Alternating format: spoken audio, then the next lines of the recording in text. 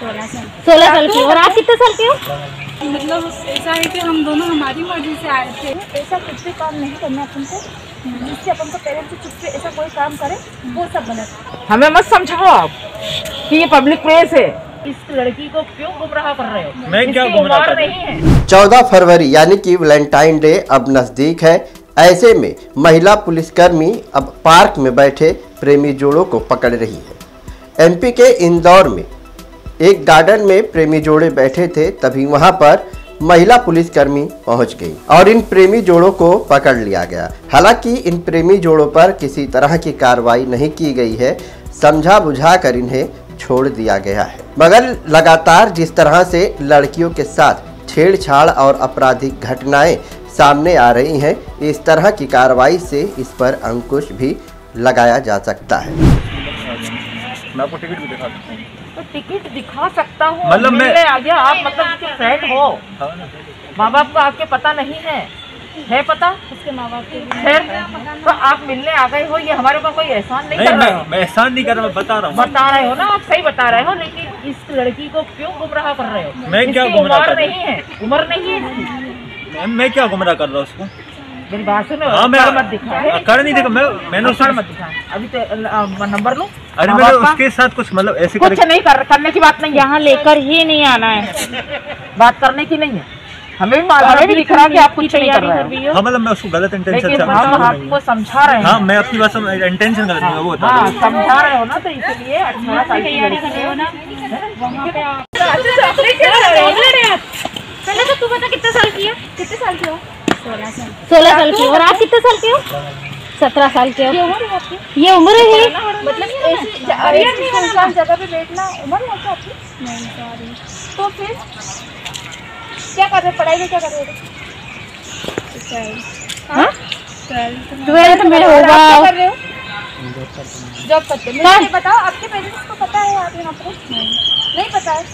तो मेरी बात सुनो ऐसा कुछ भी काम नहीं करना अपन को जिससे अपन को पेरेंट्स से चुप से ऐसा कोई काम करे वो सब गलत है है ना? ऐसे काम करो कि जिसको अपन बड़े लोगों को या फिर किसी को बता पाए कि हाँ हम ये कर रहे हैं गर्व से। ये जो तुम कर रहे हो ये किसी को बता पाओगे? तो फिर क्यों कर रहे हो?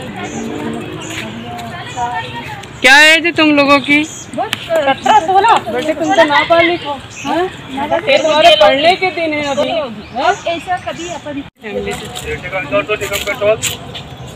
भाई के पास पापा के पास आपके पास ही कोई अधिकारी खड़े कम से कम खड़े तो हो सकते हो तुम खड़े हो सकते हो आपसे बात कर रहा है तो रहती है?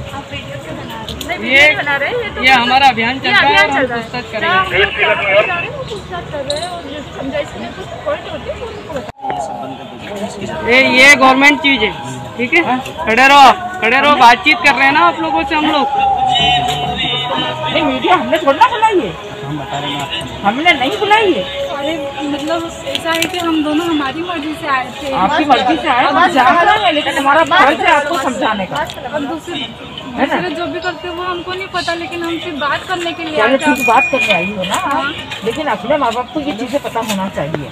क्या कहाँ जा रहे हैं? ना? इक्कीस है वो तो है ना परमानेंटली है है। ठीक है ना? लेकिन आप अपने अपना ध्यान रखें। नहीं मैं ऐसा बोलना चाहती हूँ कि आप आज जो गलत करता है उसको जाके हम हम ये ये गलत है। बैठो ना।